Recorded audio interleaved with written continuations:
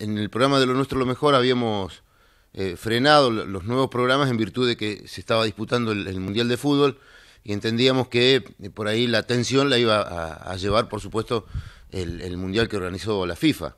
Por eso es que se decidió durante este periodo del Mundial eh, no emitir los nuevos programas y ahora que ha finalizado el mismo, comenzamos con la edición de los nuevos programas, la emisión, perdón, de los nuevos programas que ya están envasados. Ha tenido muy buena repercusión, tiene muchos televidentes. gusta el tema, ¿no? género.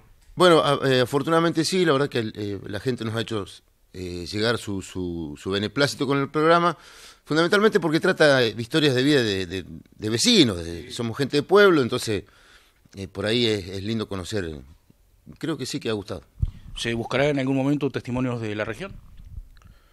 Eh, lo intentamos en algún momento hacer y hubo algunos eh, problemas que, no, que, nos impidieron este, poder lograr eso, pero bueno, será tema futuro a conversar y, ver la posibilidad de, hacerlo. ¿Recordá el día y el horario que se pone en pantalla?